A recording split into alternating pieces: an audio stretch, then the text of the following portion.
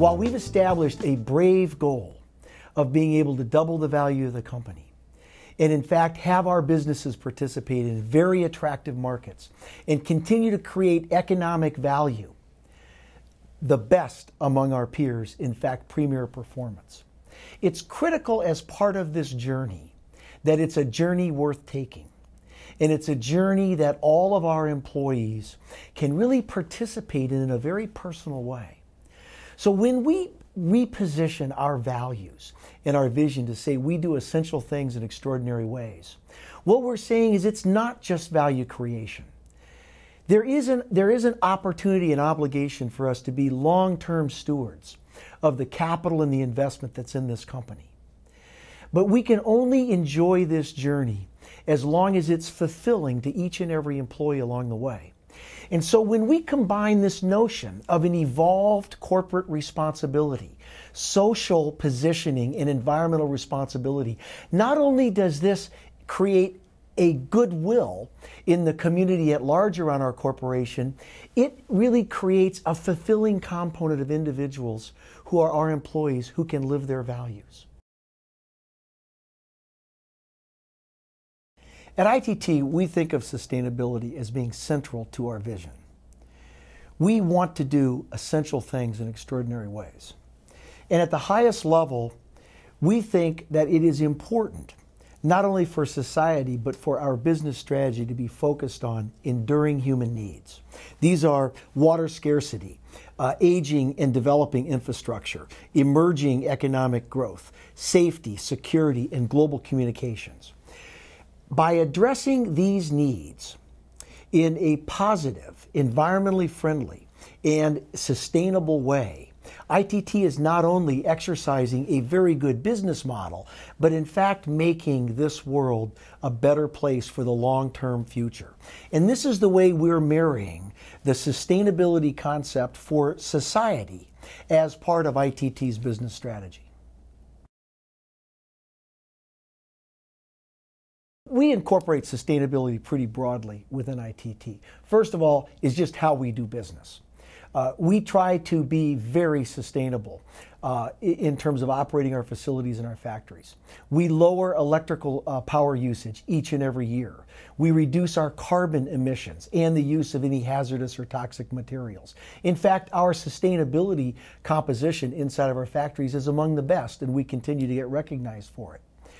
We're proud of the fact that we are a green company in the way that we make our products.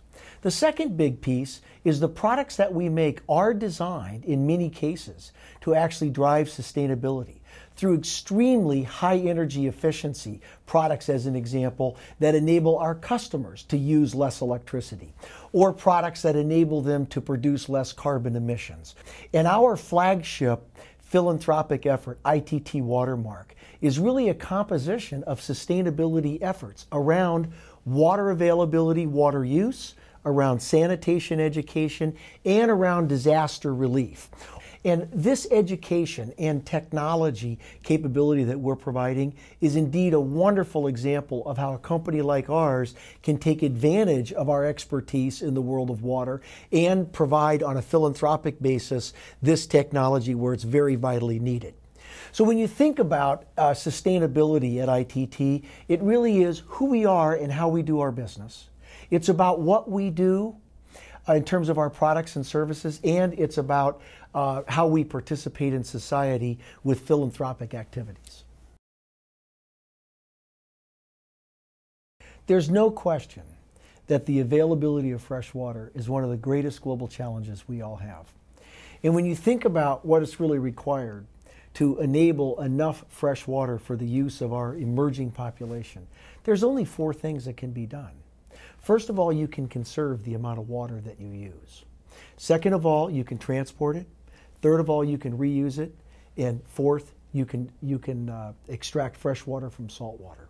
ITT is involved in all four dimensions of water sustainability.